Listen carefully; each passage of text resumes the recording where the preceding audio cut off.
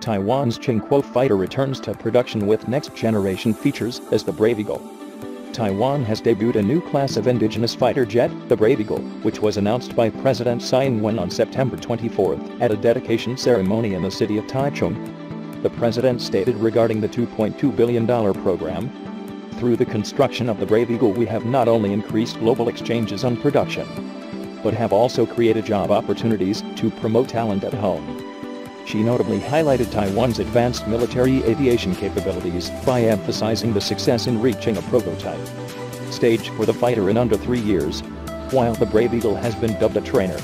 Taiwan's armed forces have long used viable frontline fighters in a training role, and such jets are expected to play a major role in the event of a war across the Taiwan Strait trainer jets in Taiwanese service, while prized for their lower operational costs, must deploy advanced sensors and modern armaments just as frontline fighters do.